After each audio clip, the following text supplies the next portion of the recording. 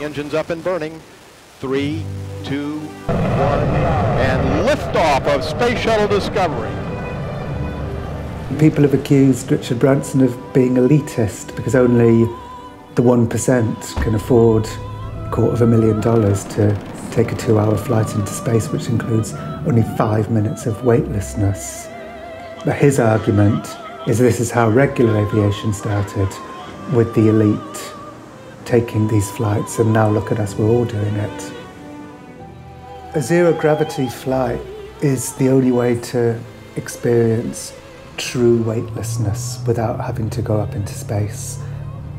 Branson says that he wants all the 630 future astronauts as part of their preparation to take a zero gravity flight, which is what I'm about to do, to find out if weightlessness is all it's cracked up to be.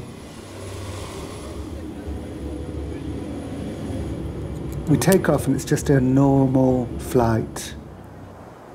Most of the plane is like a kind of hollowed out tube with padded walls and floors. When we're up at a certain altitude, we have to lie flat on our backs and look straight up to the ceiling because apparently if you look left or right, you could get nauseous. Basically, you feel like you're stuck to the floor like a fly in a spider web. And then the parabolas start So when you first become weightless, it's quite bewildering. You don't know what's going on. it's a bit like Sandra Bullock in Gravity, but instead of all this debris coming towards you, it's people from New Zealand and Brazil flying into you, and nobody can control it, and you're sort of being hit. And after a couple of parabolas, it starts to suddenly feel quite exciting. You feel like you can control it. And so your bewilderment turns into great excitement. I felt like I was a kind of majestic ballet dancer. Alex, the cameraman at this stage, was also in zero gravity and frankly was being a hazard to everybody on board because he couldn't control his camera and it was in danger of like really hurting people, like smashing into people's heads. And then after a while, Alex was made to sit down for the rest of the flight. So I was excited for a couple of parabolas, thinking this is just this is this is great. And then my excitement turned to cockiness, where I thought I can do complicated maneuvers. So I thought I would maneuver myself over to Alex.